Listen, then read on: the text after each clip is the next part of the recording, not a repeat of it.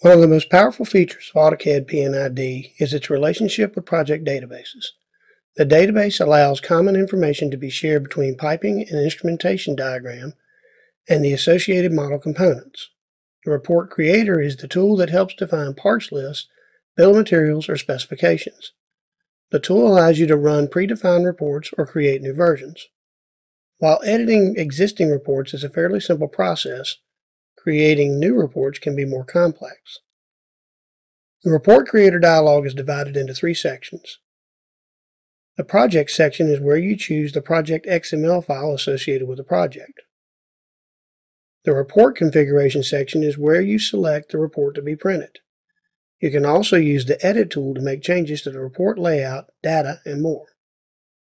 The data source defines whether the drawing data or project data will be used to populate the reports. Additional tools on the dialog include a preview tab that shows the selected report prior to printing. The print and export tool works similarly to the AutoCAD or Windows print command. You can choose between printing to a printer or exporting to a PDF file. The export feature also includes additional options including page range, image quality, password security, and document properties.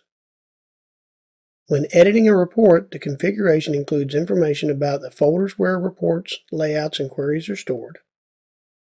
The query determines which data is used in a report that has been defined in Project Setup. The report layout controls how the report looks and includes fonts, images, text fields, margins, arrangement of objects, and more.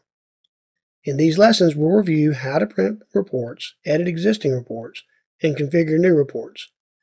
Define them for your default project and take AutoCAD P&ID to a higher level.